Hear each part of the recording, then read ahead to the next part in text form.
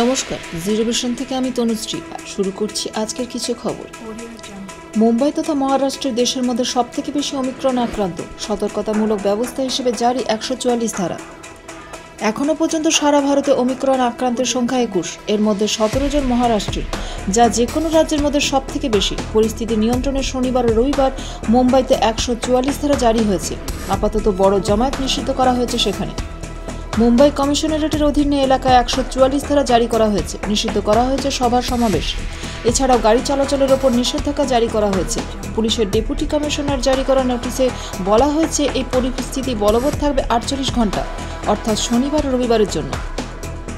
সর্বভারতীয় সংবাদ মাধ্যমে প্রকাশিত খবর অনুযায়ী, সরকারি নির্দেশিকায় বলা হয়েছে, করোনার ওমিক্রন ভ্যারিয়েন্ট থেকে সাধারণ মানুষকে বাঁচানোর পাশাপাশি অমরাবতী, মালেগাঁও ও নান্দেদের হিংসা পরিস্থিতির পরে যে উত্তেজনা রয়েছে, তার জন্য এই নির্দেশিকা। মহারাষ্ট্র স্বাস্থ্য দপ্তরের তরফে শুক্রবার বলা হয়েছে, সেখানে নতুন করে সাতজনের শরীরে ওমিক্রন ভাইরাস পাওয়া গিয়েছে। এর মধ্যে সাড়ে তিন বছরের একটি শিশুও রয়েছে। মুম্বাইতে তিন আক্রান্তের বয়স হল যথাক্রমে আটচল্লিশ, পঁচিশ এবং সাঁত্রিশ। এরা যথাক্রমে তানজানিয়া, ব্রিটেন এবং দক্ষিণ আফ্রিকা, নাইরবি থেকে ফিরেছেন বৃহন মুম্বাই মিউনিসিপাল কর্পোরেশন জানিয়েছে, আটচল্লিশ বছরের ব্যক্তি যিনি তানজানিয়া থেকে ফিরেছেন, তিনি ধারাবির বাসিন্দা। তবে তার কোনো উপসর্গ নেই, তাকে আইসোলেশনে রাখা হয়েছে। চৌঠা ডিসেম্বর ওই ব্যক্তি করোনা ধরা পড়ে। তিনি করোনার কোনো টিকাই নেননি, তবে তার সংস্পর্শে আসা দুই ব্যক্তির রিপোর্ট নেগেটিভ বলে জানা গিয়েছে। অন্যদিকে পঁচিশ বছরের যুবক তিনি সম্প্রতি লন্ডন থেকে ফিরেছেন, পয়লা ডিসেম্বর তার পরীক্ষায় পজিটিভ এসছে, তার দুটি টিকাই নেওয়া হয়েছে, তার কোনো উপসর্গ নেই। সাঁত্রিশ বছর বয়সের অপর যুবক গুজরাটের বাসিন্দা। চৌঠা ডিসেম্বর দেশে আসার পরই পরীক্ষায় করোনা ধরা পড়ে। বিমানবন্দর থেকে হাসপাতালে নিয়ে যাওয়া হয়েছে। তার সামান্য উপসর্গ রয়েছে। তারও দুটি ভ্যাকসিন নেওয়া হয়েছে বলে জানিয়েছে বিএমসি কর্তৃপক্ষ। পুনের পিম্পুরি চিনচাঁদ মিউনিসিপাল কর্পোরেশন এলাকায় চারজনের নতুন করে অমিক্রণ আক্রান্ত হয়েছে। এরা চারজনই নাইজেরিয়া থেকে আগত তিন মহিলার সংস্পর্শে এসেছিলেন। যারা আগেই করোনায় আক্রান্ত হয়েছিলেন। এই সাতজনের মধ্যে চারজনের দুটি করে ভ্যাকসিন নেওয়া হয়েছে। বাকি তিনজনের মধ্যে একজনের একটি ভ্যাকসিন নেওয়া হয়েছে। একজন কোনো ডোজ নেয়নি। আর একজন হলো সাড়ে তিন বছরের শিশু। Zero vision. সবার সাথে সবার পাশে। Zero vision. ডিসেম্বর শেষের আগেই গোয়া অসম মেঘালয় দার্জিলিং সফর। বড় পরিকল্পনা তৃণমূল সুপ্রিমো মমতা বন্দ্যোপাধ্যায়ের। মাসের শুরুটা তৃণমূল সুপ্রিমো মমতা বন্দ্যোপাধ্যায়ের করেছিলেন প্রশাসনিক বৈঠকের জন্য জেলা সফর দিয়ে। বাকি মাসটা অবশ্যই ব্যস্ততায় কাটতে চলেছে তার। তবে সেই ব্যস্ততা শুধু পশ্চিমবঙ্গের মধ্যে সীমাবদ্ধ থাকছে না।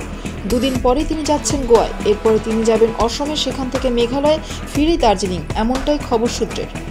এখনও পর্যন্ত সূচি অনুযায়ী তেরোই ডিসেম্বর মমতা বন্দ্যোপাধ্যায় গোয়া যাচ্ছেন। সেখানে তার সঙ্গী হতে পারে অভিষেক বন্দ্যোপাধ্যায়। গত দু মাসের হিসেবে মমতা বন্দ্যোপাধ্যায়ের এটা দ্বিতীয় গোয়া সফর।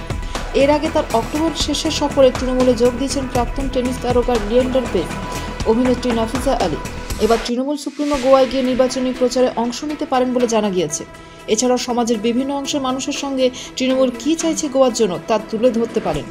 তৃণমূলের পরিকল্পনা হলো গোয়াস একটি স্থিতিশীল সরকার তৈরি করা, যেমনটি রয়েছে পশ্চিমবঙ্গে। গোয়া থেকে ফিরে মমতা বন্দ্যোপাধ্যায় পনেরো ষোলো ডিসেম্বর কলকাতা পুরসভা নির্বাচনী প্রচারে অংশ নেবেন। বেহালা চৌরাস্তা, বাহার যতীন সহ বেশ কিছু জায়গায় তিনি সভা করবেন বলেও এখনও পর্যন্ত ঠিক আছে। প্রসঙ্গত কলকাতা পুরসভায় ভোট গ্রহণ হলো উনিশে ডিসেম্বর। সাম্প্রতিক সময় মমতা বন্দ্যোপাধ্যায় উত্তর পূর্ব ভারতের রাজ্য সফর করেননি। বিশেষ করে দু হাজার একুশে পশ্চিমবঙ্গ বিধানসভা নির্বাচনে বিজেপিকে পর্যদস্ত করার পরে। দলীয় সূত্রে প্রাপ্ত খবর অনুযায়ী মমতা বন্দ্যোপাধ্যায় কুড়ি ডিসেম্বর অসমে যেতে পারেন। সেখানে কামাখ্যা মন্দিরে পুজো দেবেন তিনি। সেখান থেকে তিনি মেঘালয় যেতে পারেন। ইতিমধ্যেই মেঘালয় তৃণমূল বিরোধী দলের মর্যাদা পেয়েছে। প্রাক্তন কংগ্রেস মুখ্যমন্ত্রী মুকুল সাংমা এগারো জন বিধায়ককে নিয়ে তৃণমূলে যোগ দিয়েছেন। বিভিন্ন দল থেকে আরও দলবদলের সম্ভাবনা রয়েছে। এই পরিস্থিতিতে মমতা বন্দ্যোপাধ্যায়ের সফর তাৎপর্যপূর্ণ।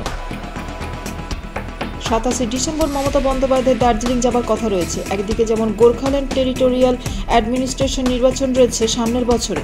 সেই বিষয় নিয়ে এই সফরে আলোচনা হতে পারে। তৃতীয়বার মুখ্যমন্ত্রী হওয়ার পরে উত্তরবঙ্গে গেলেও তিনি দার্জিলিংয়ে যাননি।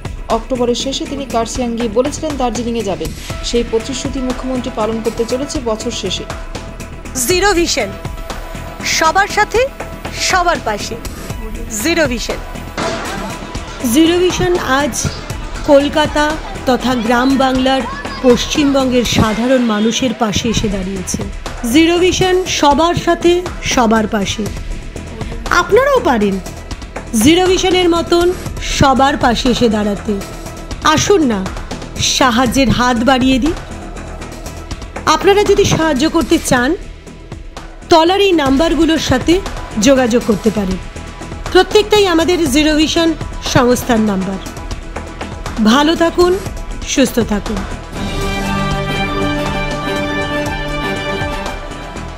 নমস্কার।